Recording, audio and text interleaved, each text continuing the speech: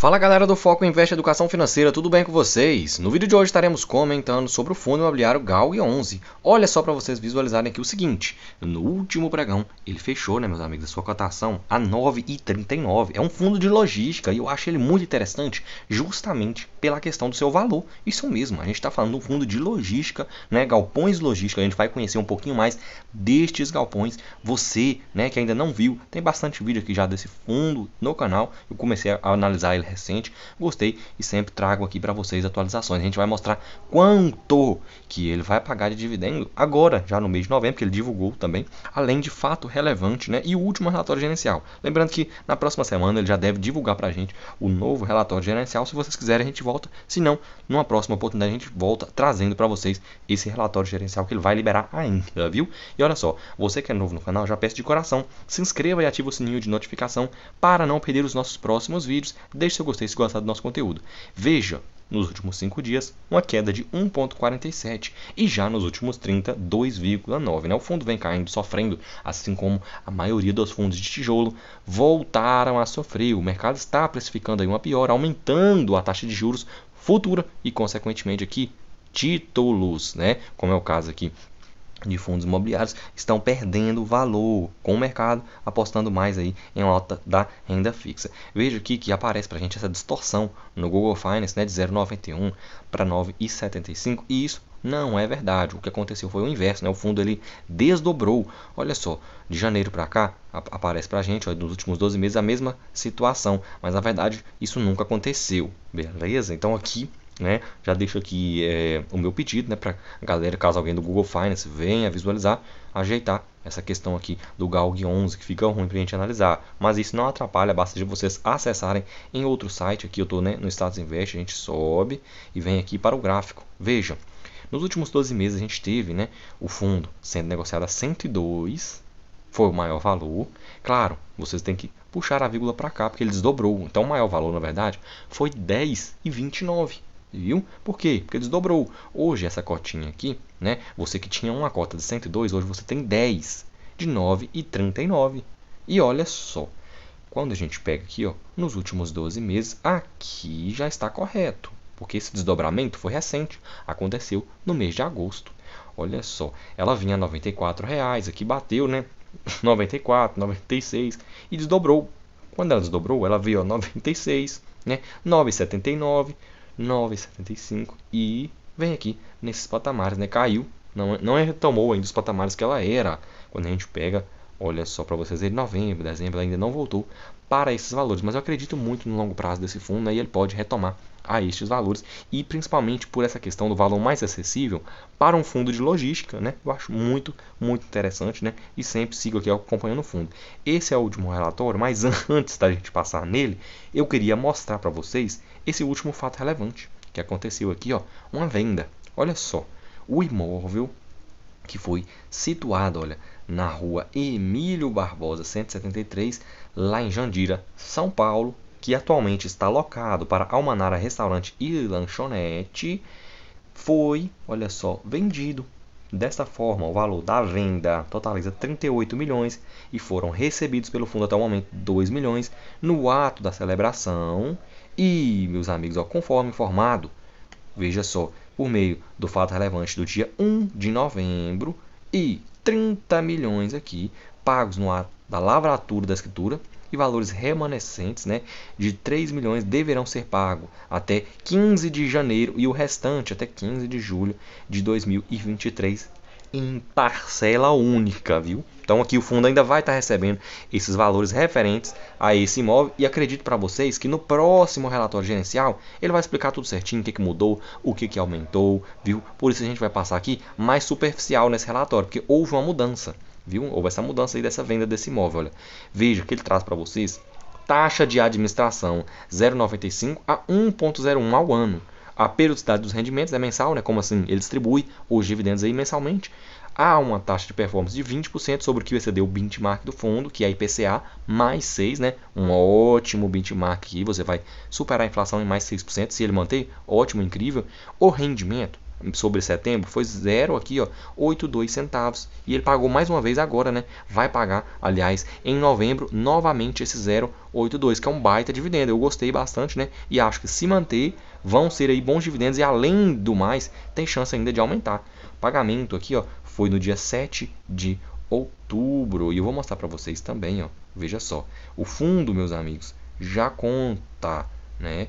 Com um valor de mercado de 563 milhões, patrimonial de 583, ou seja, está descontado e rendimento aqui, ó, tá dando um dividend yield, se manter esse patamar, cerca de 10% aí mais ou menos, né?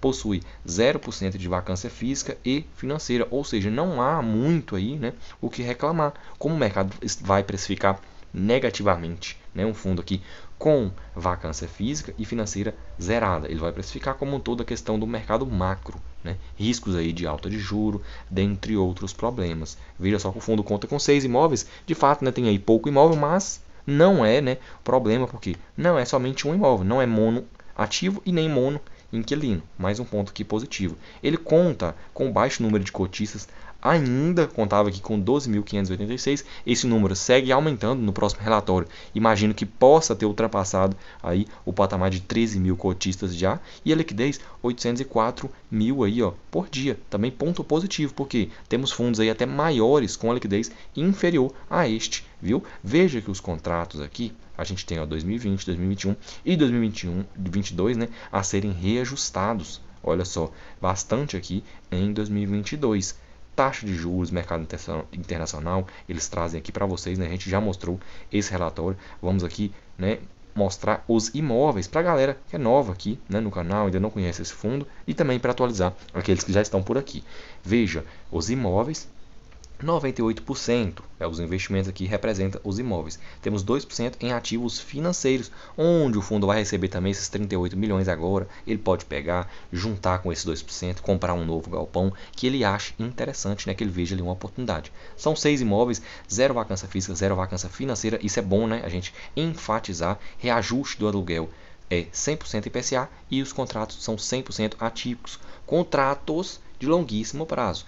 Tem imóvel aqui para BRF Foods, que é imóvel, né, meus amigos aqui, de altíssima qualidade, imóvel refrigerado, BRF, empresa listada na bolsa, baita empresa. Temos aqui imóveis, né, tanto lá na Bahia, isso aqui é Bahia, isso aqui é acima da Bahia, né, Pernambuco, a gente tem São Paulo, a gente tem aqui Rio Grande do Sul também. E descendo, né, vamos aqui, ó, visualizar mês de reajuste dos contratos. A gente teve 39% em setembro, 33 em março, 21 em janeiro. Temos aqui 4% só né, no mês de dezembro e 3% em abril. Então, visualizaremos aí, quem sabe, né, uma melhora mais uma vez lá para maio.